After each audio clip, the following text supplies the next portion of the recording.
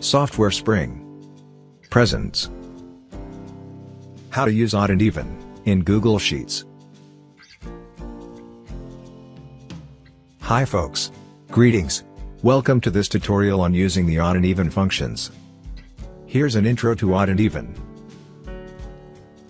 Odd rounds the specified number, up to its nearest odd integer. Odd returns the same number, if the specified number is an odd integer.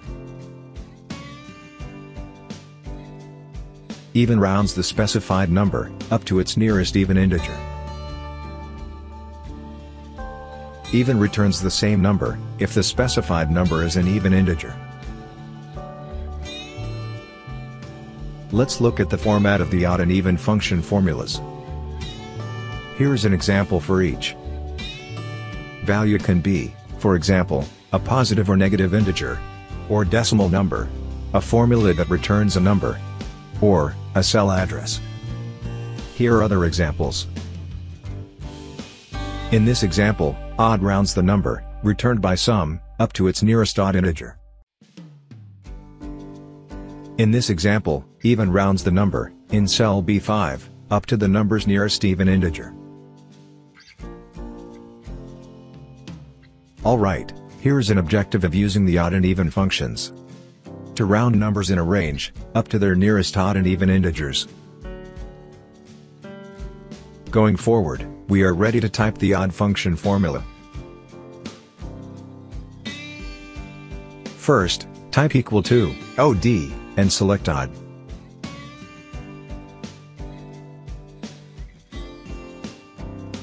For value, click this cell. Press enter.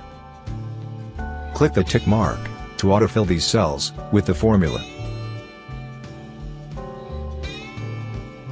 OK, odd is return the nearest odd integer, if the specified value, is not an odd integer. If the specified value is an odd integer, odd is returned the same number. Now, we are all set to type the even function formula.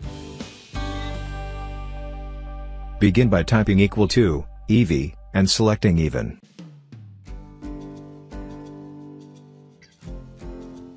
For value, click this cell. Press enter. Click the tick mark, to autofill these cells, with the formula.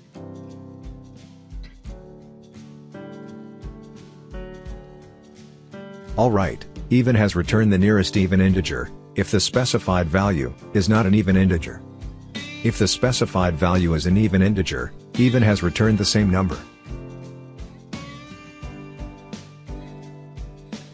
Quick review.